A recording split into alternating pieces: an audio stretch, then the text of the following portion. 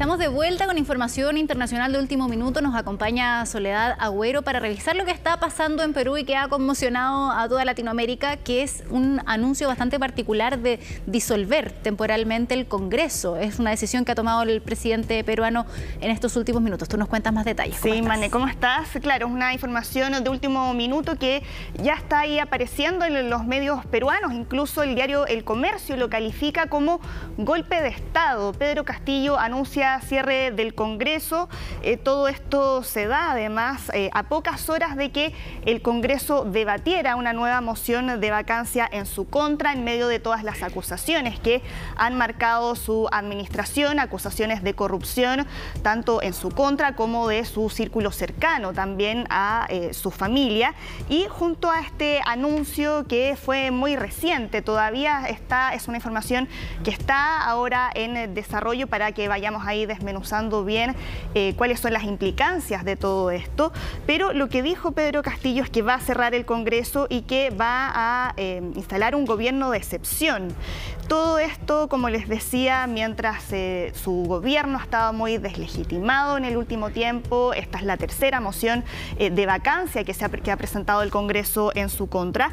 Y aquí lo que señaló en el momento en que él hace este anuncio fue en atención al reclamo ciudadano a lo largo y ancho del país tomamos la decisión de establecer un gobierno de excepción orientado a establecer el Estado de Derecho y democracia, a cuyo efecto se dictan las medidas, disolver temporalmente el Congreso de la República e instaurar un gobierno de emergencia excepcional. Escuchemos parte de lo que dijo Pedro Castillo. En un plazo no mayor de nueve meses. A partir de la fecha y hasta que se instaure el nuevo, el nuevo Congreso de la República, se gobernará mediante decretos ley. Se decreta el toque de queda a nivel nacional a partir del día de hoy, miércoles 7 de diciembre del 2022, desde las 22 horas hasta las 4 horas del día siguiente.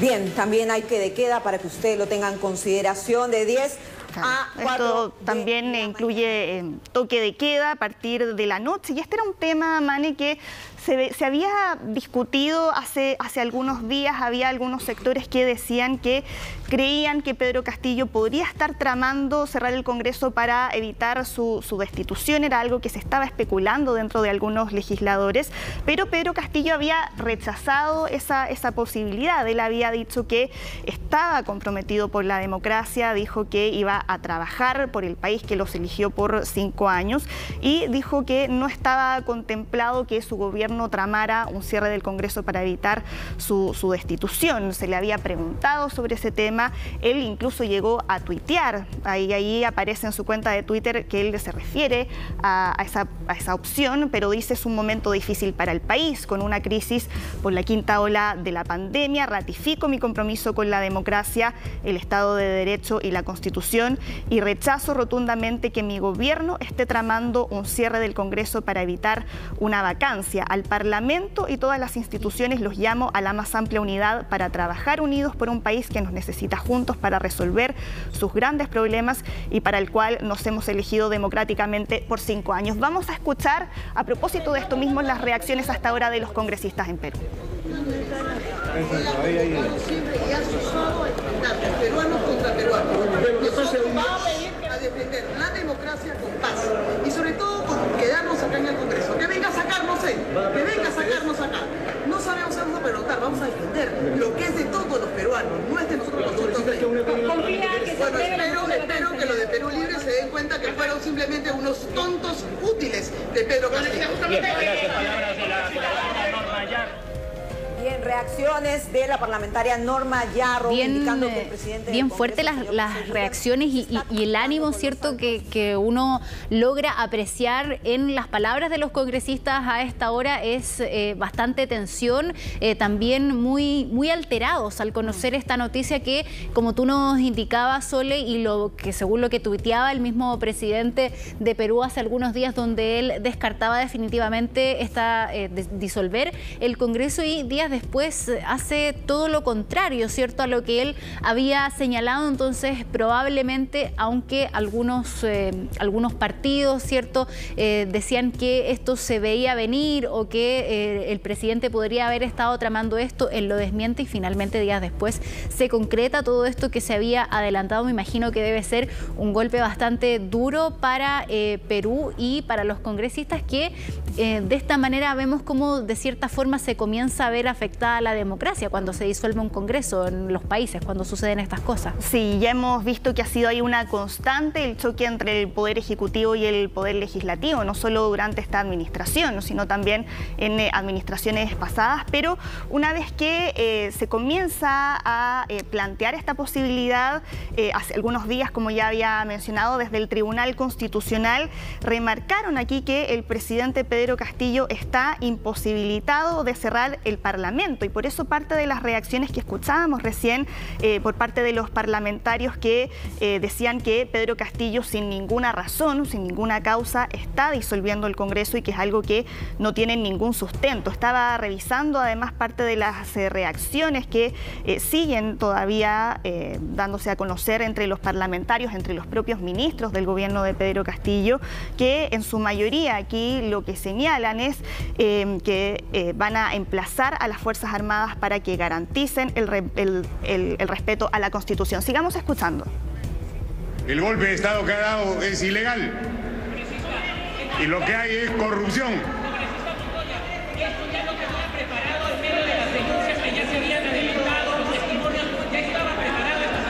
Desde el día de ayer que ha tenido el, el de, de información sobre el acto de corrupción, han estado preparando una salida pero como no son inteligentes, no son brutos, han escogido la peor. No, el enfrentamiento que nos facilita las cosas a nosotros para deshacernos del presidente. Ya terminó su mandato. A partir de ahora vamos a empezar una nueva, una nueva línea democrática para darle estabilidad a la población, seguridad a la nación y vamos a respetar el orden constitucional que corresponde.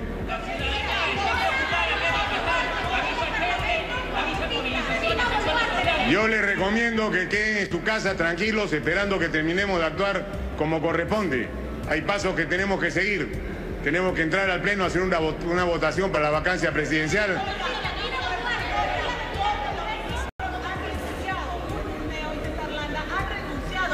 Los ministros que saben que les corresponde ante la ley están renunciando porque no quieren ser cómplices de este delito.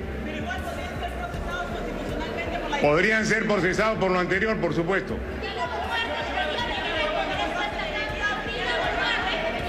Es la sucesión constitucional que corresponde. Primero, paso por paso, primero vamos a tener el pleno donde se va a dar la vacancia del presidente. El siguiente paso es comunicarla y publicarla en el peruano. Vamos a cumplir todo lo que dice la ley. Y luego de eso se va a llamar a la, vicepresidenta para que juramente seguramente el día de mañana. Tranquilidad a la población, no salgan de su casa, manténganse tranquilos, dejen que las Fuerzas Armadas y el Congreso solucionen el problema.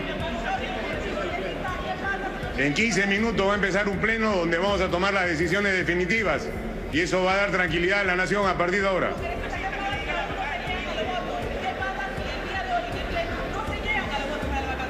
Se llegan a los votos, sí o sí. Esto es un delito, es una ruptura del orden constitucional. Nadie puede estar de acuerdo con ella.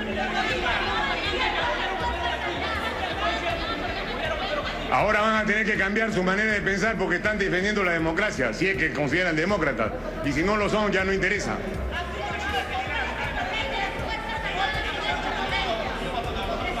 Acá tenemos que entender algo claro. Lo que ha habido es una lucha contra la corrupción. Esto no es político. Es un gobierno corrupto en todos los niveles. De ladrones. Y eso es por eso lo que estaban defendiendo algunos congresistas que tendrán que cambiar ahora su manera de pensar porque estamos defendiendo la democracia de, una sarta de ladrones. Están trabajando en lo que corresponde, que es dar estabilidad al país. Están, está como el presidente del Congreso ya habló con ellos y están haciendo lo que corresponde legalmente.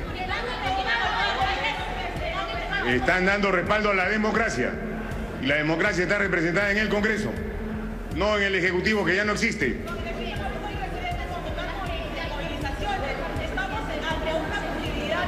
Hay que evitar que haya enfrentamientos en la calle, por eso le pido a la población que esté tranquila, que se mantengan en sus casas, evitar el enfrentamiento en la calle, dejar que las Fuerzas Armadas solucionen este problema junto con la Policía Nacional. Y el Congreso, una vez que tomemos la medida que se le va a comunicar, se hará, se hará de conocimiento de toda la población y a partir de ese momento empezarán las acciones legales que tenemos que tomar. Gracias a ustedes. Sí, escuchábamos ahí al congresista Jorge Montoya, quien, eh, bueno, desobedecía aquí eh, lo que dijo el eh, presidente Pedro Castillo, pero señala además que durante esta tarde va a continuar la sesión que estaba contemplada para hoy, donde se iba a discutir la vacancia de Pedro Castillo. 15 minutos más dijo que lo iban a hacer. Iban a retomar y lo van a hacer de todas maneras, pese a lo que ha comunicado el presidente Pedro Castillo. Y esto nos da cuenta que lo que está pasando en Perú, Sole, es bastante delicado, porque cuando suceden este tipo de cosas, se pone en riesgo la democracia de un país. Entonces, por un lado tenemos a un presidente que anuncia el cierre del Congreso y por, y por otro lado tenemos lo que escuchábamos ahora a congresistas que estarían haciendo caso omiso de esta decisión y van a votar de todas maneras la, vacancia. Sí, y hay otro eh, factor que el congresista que escuchábamos recién mencionó, que es cómo Pedro Castillo está perdiendo todo el apoyo de sus propios ministros. Él habló de renuncias y eso es eh, efectivo. El ministro del Trabajo presentó su renuncia, Alejandro Salas, coherente con mis principios y con pleno respeto a la democracia, he presentado mi renuncia al gabinete ministerial.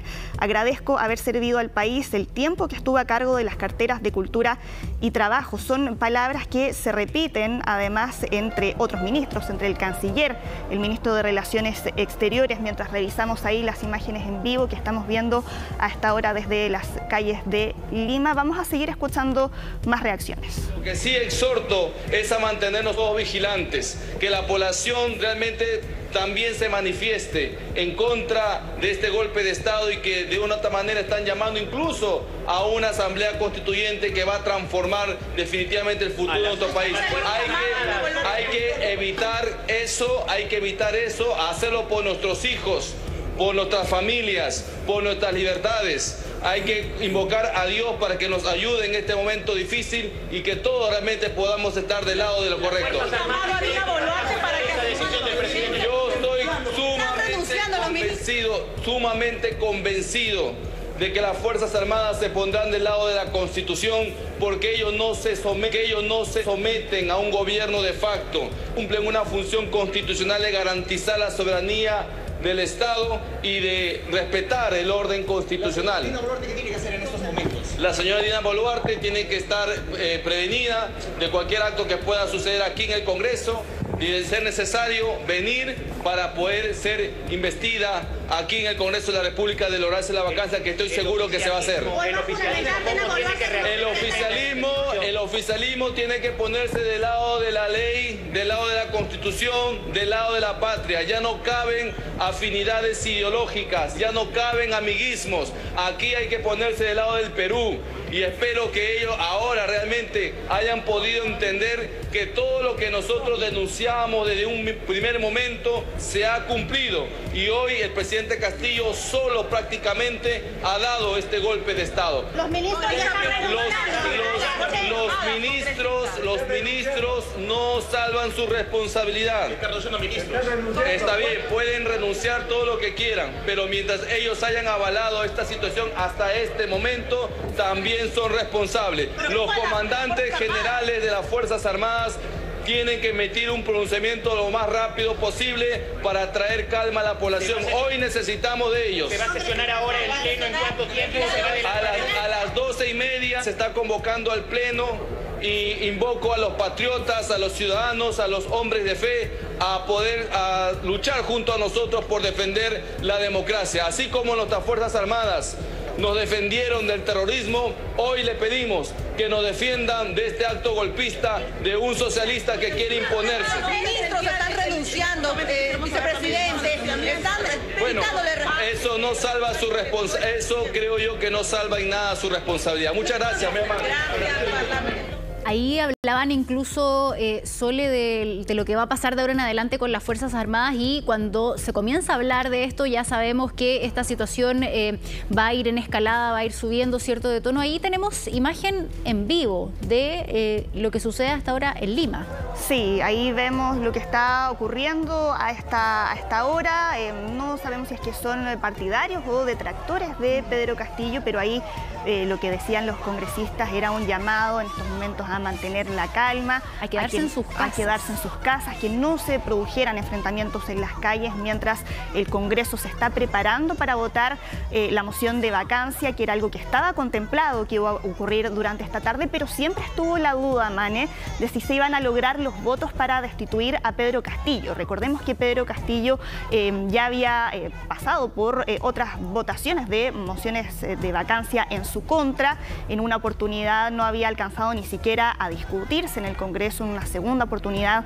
No se habían alcanzado los votos para eso. Se necesitan 87 votos para que la moción de vacancia eh, prospere y si es que esos votos se alcanzan, Pedro Castillo sería destituido de su cargo. Ahí varios se preguntan si es que lo que está ocurriendo ahora podría marcar ahí un punto de inflexión y terminar convenciendo a aquellos que no iban a dar sus votos para que Pedro Castillo fuera eh, destituido, cuando lo que comentábamos recién eh, tiene que ver además con la pérdida de respaldo que el Estado ahora experimentando dentro de su propio gabinete con las renuncias de los ministros de Economía, del Trabajo, también de su canciller, que eh, dijeron que no estaban de acuerdo con esta jugada del presidente y que por lo tanto no iban a continuar en sus cargos. Varios de ellos hablan de vulneración del Estado de Derecho y de eh, respeto con los principios democráticos, que eso es algo que ellos no están viendo en este último anuncio de Pedro. Algunos de los ministros también que estuvieron la semana pasada acá en Chile. Recordemos que la semana pasada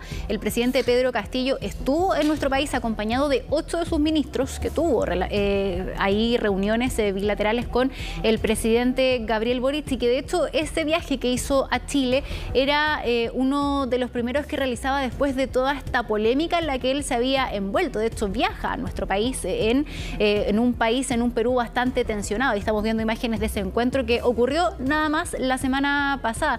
Pasemos a revisar lo que dijo Pedro Castillo, ¿cierto?, hace algunos minutos cuando hace este anuncio de cerrar el Congreso. Disolver temporalmente el Congreso de la República e instaurar un gobierno de emergencia excepcional. Convocar en el más breve plazo a elecciones para un nuevo Congreso con facultades constituyentes para elaborar una nueva constitución en un plazo no mayor de nueve meses a partir de la fecha y hasta que se instaure el nuevo, el nuevo Congreso de la República, se gobernará mediante decretos ley. Se decreta el toque de queda a nivel nacional a partir del día de hoy, miércoles 7 de diciembre del 2022, desde las 22 horas hasta las 4 horas del día siguiente. Claro, y escuchábamos las palabras de eh, Pedro Castillo. Para quienes se están eh, integrando ahora en a nuestra sintonía, recapitulemos parte de lo que ha ocurrido durante esta tarde. Lo que anunció Pedro Castillo fue la disolución del Congreso, la instauración de un gobierno de excepción, un anuncio que varios sectores lo han calificado derechamente como un golpe de Estado, entre ellos sus propios ministros que están comenzando a eh, renunciar y señaló que va a convocar a elecciones para que el siguiente Congreso cree una nueva constitución en un plazo no mayor de nueve meses. Sin embargo, como escuchábamos recién, desde el Congreso ya adelantaron que van a eh, votar la moción de vacancia en contra de Pedro Castillo, que estaba previsto para las tres y media eh, de esta tarde. Sin embargo, se adelantó para las doce y media, o sea, dentro de cinco minutos más. En Lima son dos horas menos que eh, en Chile. Y ahí Pedro Castillo, para ser destituido, eh, para que los congresistas puedan destituir al presidente, necesitan 87 eh, votos por lo menos. ahora hay que ver cómo se va a resolver esta situación, porque el motivo, ¿cierto?, de anunciar este cierre del Congreso era precisamente para que no se realizara la votación de vacancia. Sin, sin embargo, en el Congreso han anunciado que esta votación se va a realizar igual. ¿Qué validez va a tener esa votación? Es lo que se tiene que resolver durante esta jornada. Y eh, hay bastante tensión en Lima a esta hora, es lo que vemos en imágenes, ¿cierto? Donde eh, algunos congresistas han hecho el llamado a las personas a que no salgan de sus casas precisamente para que no se produzcan enfrentamientos, teniendo en consideración también que las Fuerzas Armadas ya eh, están en, en comunicación y en contacto, ¿cierto?, con el Congreso para ver cómo se actúa de ahora en adelante. De hecho, uno de los congresistas decía que las Fuerzas Armadas eh, lo que van a hacer es apegarse a la ley. ¿Qué es lo que quiere decir eso? Es eh, lo que está en desarrollo. Entonces, para evitar cualquier tipo de enfrentamientos que se ha hecho el llamado a las personas a que no salgan de sus casas y que estén a la espera de lo que se va a resolver en el Congreso. ¿Qué validez va a tener lo que se va a resolver en el Congreso? La votación que aquí se va a producir es lo que no sabemos, ¿cierto? Por este anuncio que hace Pedro Castillo hace algunos minutos de disolver completamente el Congreso precisamente para que no se produzca esta votación. Claro, lo cierto es que ahí lo que dicta la Constitución es que en el caso de que se reúnan los 87 votos eh, a favor de la moción eh, de vacancia contra Pedro Castillo, sería destituido inmediatamente de su cargo. Claro, ahora dada este contexto de tensión ahí, también hay muchas dudas de qué es lo que puede ocurrir. Pero los eh, parlamentarios afirmaron que el pleno de esta tarde se va a realizar dentro de algunos minutos, que se va a realizar además con total normalidad y dijeron, como decías tú, Mane, y que fue algo que ya habíamos escuchado, van a invocar a las Fuerzas Armadas a respetar el orden constitucional. Dentro de tres minutos se debiera iniciar esta votación en el Congreso, la tercera moción de vacancia contra el presidente Pedro Castillo a partir de este anuncio que ha despertado eh, reacciones, yo diría que transversales, condenando este anuncio y muchos de ellos, incluso los propios medios de comunicación en Perú, que ya están hablando directamente de un golpe de Estado. Están hablando desde la Fiscalía para que pasemos a escuchar esas declaraciones. Ya vamos a estar ahí retomando el contacto, estamos ahí tomando el pulso a las distintas reacciones que están surgiendo a esta hora en Perú, porque el presidente Pedro Castillo había anunciado además un gobierno de excepción y una serie de cambios también en anuncia en sus discursos en el Poder Judicial, en la Fiscalía y una serie también de instituciones en el país. Claro, las reacciones Sole fueron inmediatas, de hecho eh, muchos congresistas y también muchos medios de comunicación allá en Perú están hablando definitivamente de que esto se trataría de eh, un golpe de Estado. De hecho, estas reacciones y, el rechazo a la acción que realiza el presidente Pedro Castillo ha sido transversal. Por lo tanto, algunos de sus ministros ya han comenzado a anunciar sus renuncias. Claro, lo más extraño de esto es que fue eh, horas antes de que se debatiera una moción de vacancia ya que lo pudiera destituir. Vamos a escuchar... Eh, el Ministerio Público. Ahí está la fiscal que estaba hablando, la fiscal de Perú. Y como fiscal de la Nación sostengo y exhorto respetar la constitución política del el Estado de Derecho y la democracia que tanto nos ha costado lograr. La Asamblea General de las Naciones Unidas ha querido que cada 9 de diciembre sea el Día Internacional contra la Corrupción. Y esto con la intención que nos detengamos unos momentos a reflexionar acerca de lo nefasto que es para un pueblo vivir sumido en la corrupción. Sabemos que la corrupción es un complejo fenómeno social, político y económico que socava las instituciones democráticas y afecta a todos los países. Es sin duda un mal que traspasa lo cultural para instalarse en un nivel antropológico, pues afecta nuestra propia dignidad como personas. La corrupción supone el ponerle precio a nuestro honor, vender lo más preciado que puede tener un ser humano, que es la honestidad y la rectitud. Por eso Dante colocó a los corruptos en un círculo por encima de lo más profundo y en un lugar mucho peor aún que el que corresponde a los parricidas, los asesinos, los herejes, los ladrones, los adúlteros. Y esto porque para él era evidente que la corrupción era un pecado mucho más grave que las anteriores. Pues bien, pese a la existencia de la política nacional de integridad y lucha contra la corrupción, así como un catálogo de normas que busca prevenir y sancionar la corrupción, no se ha logrado su erradicación. Y peor aún, mantenemos un alto índice de percepción que nos obliga a reiterar nuestra exhortación para que no se normalice la corrupción en el Perú.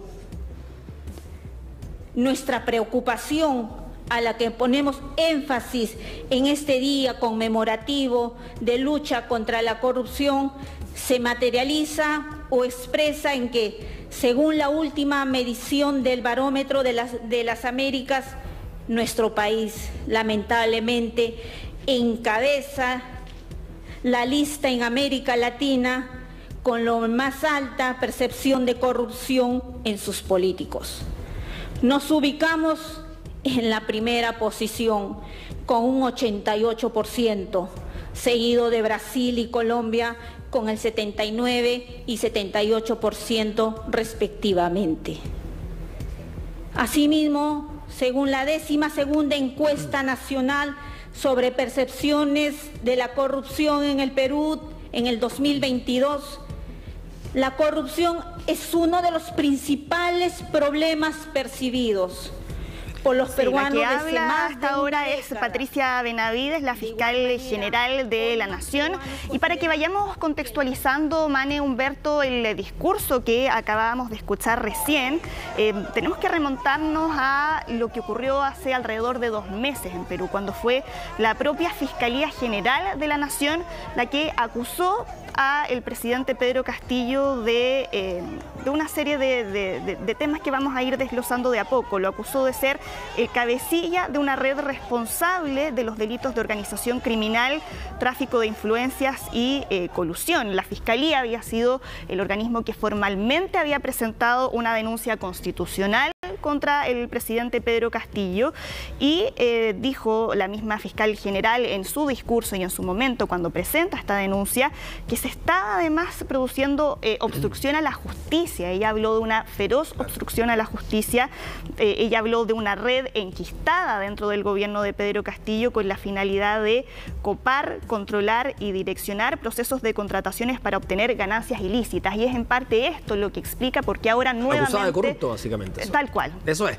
Y aquí lo que estaban haciendo, no sé si esto es lo correcto, pero se supone que en unas horas más el Parlamento iba a debatir esta moción de vacancia, que es la destitución, que podía terminar con el presidente a un lado, fuera de su cargo, que ya es parte de la tónica que hemos visto eh, con los presidentes de Perú, en, eh, por lo menos en las últimas décadas, y que algunos recuerdan el año 92, ¿se acuerdan el Fujimorazo, donde Alberto Fujimori también intervino, disolvió varias entidades estatales, entre ellas la disolución del Congreso en ese entonces? Sí, ahí lo que decía un congresista hace poco era eh, que lo iban a discutir ahora prácticamente. Hace 15 minutos atrás dijo en 15 minutos más, o sea, ya deberían estar discutiendo y haciendo la votación en el Congreso de lo que va a ser esta votación de vacancia, que es el motivo por el cual además Pedro Castillo disuelve el Congreso. Dijo que lo iban a hacer igual.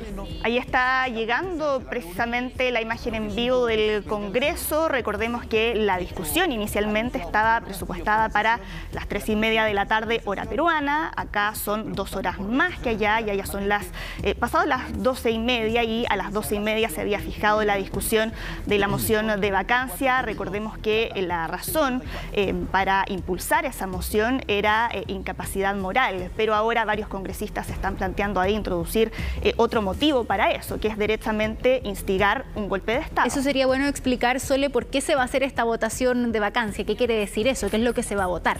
Sí, aquí en términos simples la destitución del presidente Pedro Castillo, que fue algo que habíamos visto en oportunidades anteriores, por ejemplo, el presidente Pedro Pablo Kuczynski lo iban a someter el año 2018 una moción de vacancia, pero él presentó su renuncia antes de, eh, la votación y ahora es a partir de todos estos escándalos de corrupción que habíamos estado comentando eh, y que eh, incluyen además a parte de su círculo más cercano, a su esposa, también a su cuñada, que explica aquí el contexto, que es lo que motiva a presentar esta moción de vacancia y mientras habíamos escuchado además al presidente Pedro Castillo defenderse de esas acusaciones. Él en su momento había dado además una conferencia de prensa eh, con medios internacionales donde decía que no existe fundamento real, según él, para presentar esas acusaciones. y que son, acusaciones que han pesado sobre la gran mayoría de los últimos presidentes de Perú, ¿no? Sí. Toledo, García, Kuczynski, o sea, casi ninguno se salva. Claro, y además muchos de ellos estuvieron salpicados por el escándalo de eh, Odebrecht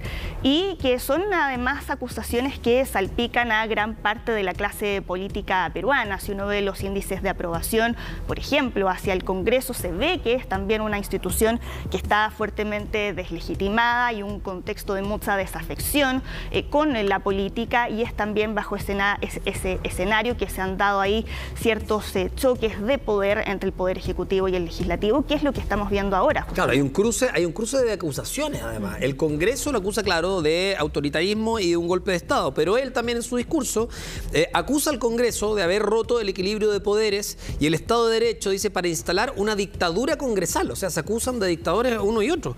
Dice una dictadura congresal con el aval, como ellos mismos manifiestan, de su tribunal constitucional. Por eso él dice que se ve, entre comillas, medio forzado a tomar esta medida. Ahora, ¿qué es lo que va a resultar de todo esto con estas acusaciones cruzadas? Es lo que eh, se tiene que resolver durante esta jornada, porque ahí incluso algunos eh, titulares, cierto, de Perú decían que esta disolución del Congreso era ilegal. Y el llamado que hace además eh, la Fiscalía, que era lo que escuchábamos hace poco, era que eh, rechazaba eh, completamente la, disolución del Congreso, lo que había anunciado el presidente Pedro Castillo hace algunos minutos. Entonces aquí lo que uno se pregunta es efectivamente qué es lo legal, dónde está la legalidad de toda esta situación y si lo que se resuelve entonces ahora en algunos minutos más en el Congreso peruano, cuando se va a hacer esta votación de destitución del presidente Pedro Castillo, va a tener alguna validez, eh, siendo que eh, se había anunciado minutos antes la disolución del Congreso. Esa es la gran pregunta de ahora en adelante. ¿Qué va a ser lo legal? ¿Qué, es lo que va a tener validez? Claro, por lo pronto aquí eh, la reacción que hemos visto por parte de eh, organismos que están eh, encargados ahí de velar por esa legalidad, el Tribunal Constitucional, por ejemplo, quienes ya habían dicho hace algunos días que Pedro Castillo no está facultado para disolver el Congreso. mientras contextualizamos aquí parte de lo que está ocurriendo, muchos, ya habíamos comentado cómo gran parte de los presidentes han estado salpicados por escándalo de corrupción. Sin embargo, aquí para complementar un dato con eh, lo que ocurre con el gobierno del presidente Pedro Castillo. Son seis las investigaciones preliminares que ha abierto la Fiscalía en su contra y esto considerando que Pedro Castillo lleva solo poco más de un año como presidente y eh, estas eh, acusaciones que hablan aquí de supuestas irregularidades y de distintos ilícitos que habrían sido cometidos por, por él y por su entorno es algo que no se había dado a ese nivel con otras administraciones eh, mientras, eh, y eso explica parte de las eh, declaraciones que ya habíamos escuchado de la fiscal general, que había sido ella misma quien había presentado esta denuncia contra el presidente, cuando la escuchábamos señalar que en, el país no debiera haber ahí ningún espacio para la corrupción. Y, lo otro es que aquí ya se empiezan a, cruzar los poderes del Estado, ¿no? Está, que son independientes además. Está el poder legislativo, sabemos que el Congreso está acusando un golpe de Estado, ahora es el poder judicial, es la ¿Me pueden eh, repetir? En la Junta Nacional de Justicia, ¿no? Eh, que en el fondo son los jueces que también cuestionan y critican esta medida, no están de acuerdo con la medida que acaba de entregar el presidente de Perú. Entonces tenemos dos poderes independientes que acusan al presidente eh, de haber disuelto el Congreso. En el fondo eh, claro, eh, era, era medio esperable que el Poder Judicial también lo hiciera, porque si es que quisiera también, claro, puede destituir de un día para otro ¿qué? A, los jueces.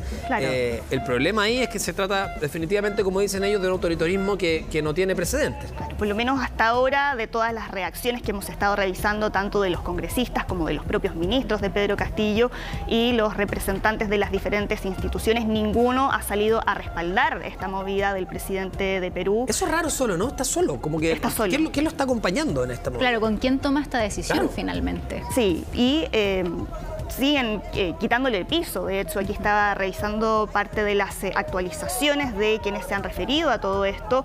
Mencionábamos recién el rol que ha jugado aquí el Tribunal Constitucional. Recién, hace un par de minutos, habló Francisco Morales, el presidente del Tribunal Constitucional, quien dijo, nadie debe obediencia a un gobierno usurpador y el señor Pedro Castillo ha dado un golpe de Estado ineficaz. Y dice que jurídicamente, aquí si es que nos apegamos a lo que dice acá la legislación, Pedro Castillo Castillo no puede tampoco convocar a una asamblea constituyente, porque parte de lo que él había anunciado era que iba a disolver el Congreso, que iba a llamar a nuevas elecciones para la conformación de un nuevo Congreso y que eso iba a ir además de la mano de la creación de una eh, asamblea constituyente. Pero ¿por qué es tan importante la señal que sus ministros estén renunciando y lo que nos hace pensar que el presidente Pedro Castillo en esta oportunidad está solo y nadie lo está apoyando, porque sabemos que los presidentes cuando toman decisiones importantes lo hacen en conjunto de un comité político, ¿cierto? Que eh, habitualmente son sus ministros son los que eh, están en estas reuniones constantes, tal como lo que pasa acá en Chile. Cuando el presidente tiene que abordar temas importantes, se toca esto en el comité político y las decisiones son apoyadas en conjunto. E invitan a los presidentes de los partidos oficialistas para tratar de estar en bloque, ¿no? Claro, para actuar y decidir en bloque. Sin embargo, acá lo que se está observando es todo lo contrario y al parecer sería una decisión que toma solamente el presidente Pedro Castillo sin tal vez consultárselo a nadie o eh, sin que nadie lo esté apoyando en este momento y por eso la renuncia de sus ministros que se supone son eh, las personas cercanas y que están detrás también de su gobernanza. Otro dato relevante sobre eso mismo, eh, su propio abogado, quien lo había defendido en estas seis investigaciones en su contra, acaba de anunciar su renuncia irrevocable a la defensa de Pedro Castillo tras lo lo, ocurrido y que es algo que eh, también su abogado ocupa el término golpe de Estado para referirse a, este Pero si está el abogado, eh, vamos sumando, si está el abogado. Los ministros. Están los ministros, que su gabinete. Está el Parlamento. Están además los jueces. Tiene a todos en contra. Y si estamos viendo que en la televisión y en distintos lugares, en medios de comunicación, nos anuncian que en breve va a iniciarse la sesión del Pleno donde votaría la eventual destitución del presidente, bueno, al final le va a salir el tiro por la culata, se está disparando en el pie y probablemente él sea el que finalmente pase por la peor parte y nadie tome en cuenta esta especie de golpe de Estado. Hay otra institución que también es importante saber eh, qué es lo que va a hacer y de qué lado militar. en las Fuerzas Armadas. Ahora, hay uno de los congresistas hace algunos minutos atrás, para quienes no lo alcanzaron a escuchar y a ver, había un congresista que decía que ya estaba en contacto con las Fuerzas Armadas y eh, que la instrucción que ellos tenían era ajustarse a la ley, ajustarse a la legalidad. ¿Qué quiere decir eso? Eh, no quedó 100% claro. pero, ¿Cuál es la ley? ¿La ley es lo que va a votar el Parlamento? o la ley es la indicación del presidente? Entonces, ahí lo que se dijo es que las Fuerzas Armadas ya estaban involucrándose en esta situación, estaban en contacto con el Congreso y que se iban a pegar a la ley.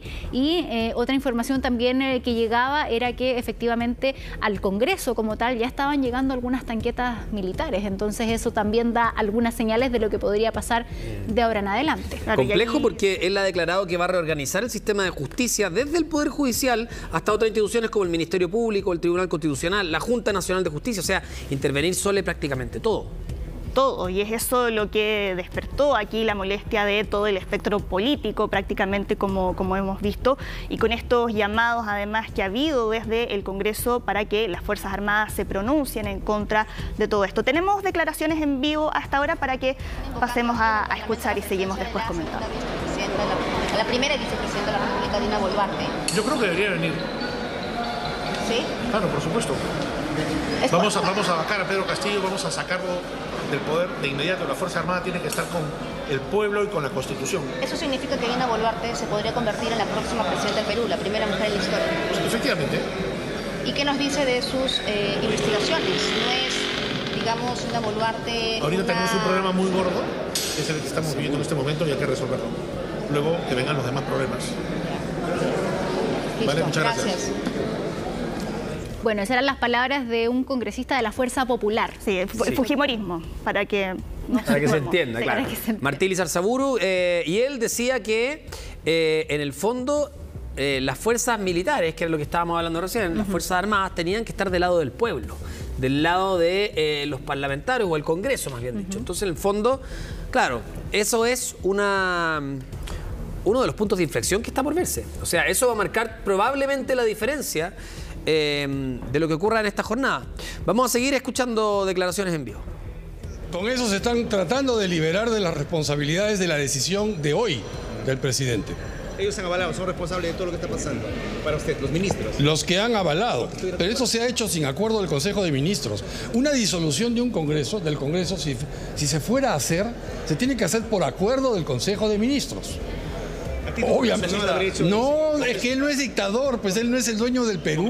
Acaba de renunciar Peña Espinosa también, ¿cuál es su opinión? ¿Quién? El, abogado. Claro, él es un, él es un pues abogado. Y si renuncia Dina Boluarte, ¿cuál sería la figura? No entiendo yo que Dina Boluarte tenga por qué renunciar. Pero si renuncia a ella también. Bueno, vamos. No ¿Quién asumiría, por ejemplo, la presidencia? No me quiero poner en esa posibilidad porque a ella le corresponde asumir su responsabilidad. Bien, gracias. Muchas gracias. Gracias a ustedes.